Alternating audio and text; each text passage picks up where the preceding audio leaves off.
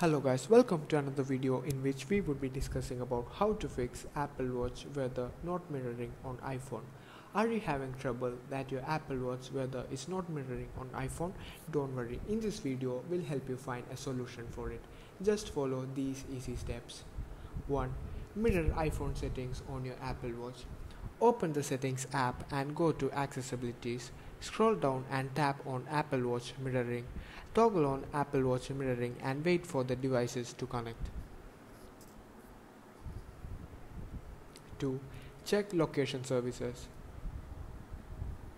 Checking location services on iPhone. Navigate to settings. Go to settings on your iPhone. Access privacy and security. Tap on privacy and security. Enable location services. Make sure location services is turned on. Check app settings. Scroll down to find the specific app you want to check and tap on it to adjust its location access settings. Checking location services on Apple Watch. Open Watch app. Launch the Watch app on your iPhone. Access weather settings. Go to My Watch, then Weather. Set location services. Ensure that the location services is set to while using the app for the weather app on your Apple Watch. 3. Enable background app refresh on your iPhone. Navigate to settings. Open the settings app on your iPhone. Access general settings. Tap on the general in the settings menu. Enable background app refresh.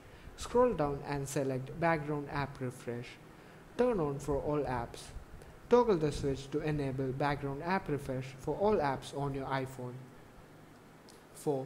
Reset location and privacy settings. Launch the Settings app on your iPhone. Tap on General in the Settings menu. Scroll down and tap on Reset. Select Reset Location and Privacy and enter your security passcode if prompted to verify your identity. Tap on Reset Settings to reset your location and privacy settings to factory defaults. 5. Unpair and repair Apple Watch. Unpairing Apple Watch. Place your iPhone and Apple Watch close to each other. Open the Apple Watch app on your iPhone. Tap All Watches to see a list of associated watches.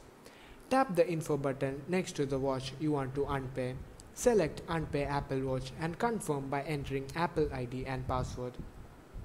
Repairing Apple Watch. Turn on your Apple Watch by pressing the side button. Hold your iPhone close to the watch until it's recognized.